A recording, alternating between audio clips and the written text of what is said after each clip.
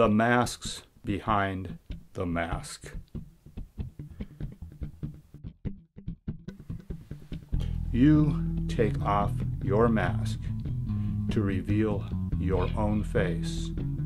Or is that face really a mask which you take off to reveal another face? Where will it all end?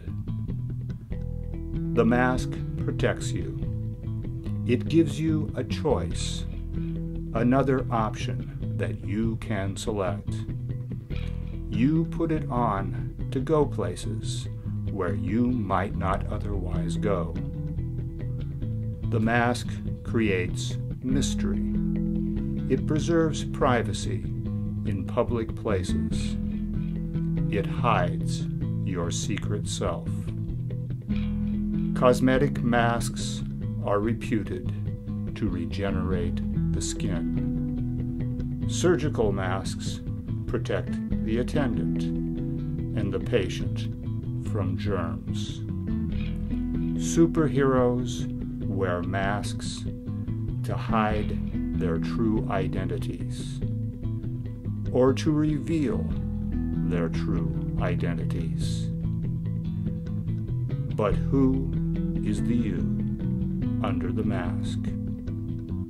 Or is there really a you? There are certain biological markers, such as one's blood type or genetic makeup, which can identify us as individuals.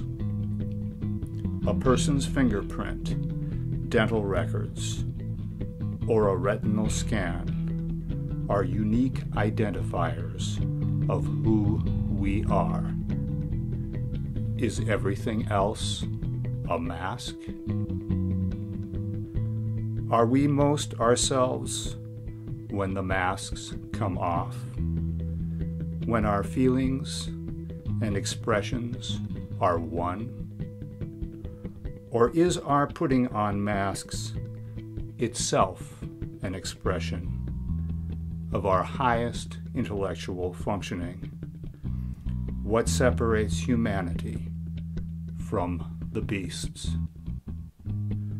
Are the masks expressions of our true social selves? Is the child within us buried a thousand masks deep?